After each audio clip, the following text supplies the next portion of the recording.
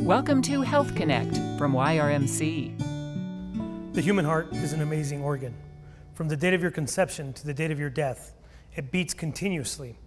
It does this in order to provide oxygen rich blood to your brain and the rest of your body. The heart is divided into a right side and a left side. The right side and the left side are also divided into two chambers each. And these chambers are all divided by valves. Two major valves on the right side, two major valves on the left side.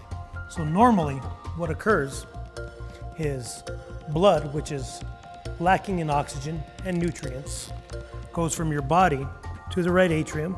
Here it crosses the tricuspid valve into the right ventricle. And from here, this oxygen poor blood is sent to the lungs. In the lungs, the blood is then oxygenated and all of the waste products are removed. The oxygen-rich blood is then sent to the left side of your heart, where it goes through the left atrium, across the mitral valve, into the left ventricle, then it crosses your aortic valve, and this oxygen-rich blood is then sent to your body.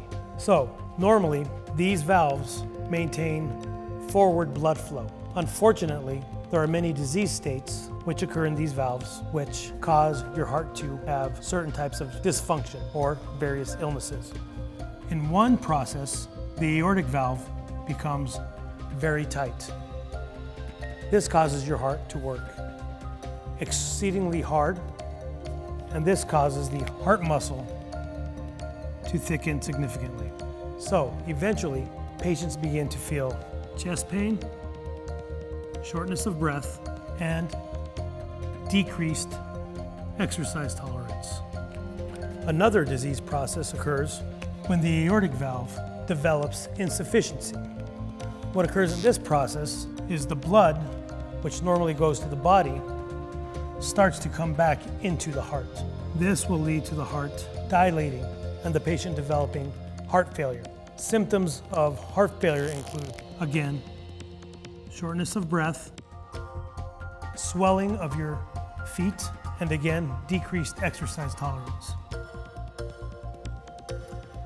If you wish to avoid these disease processes from occurring to your heart, stop smoking, eat right, get more exercise, and decrease the amount of stress in your life.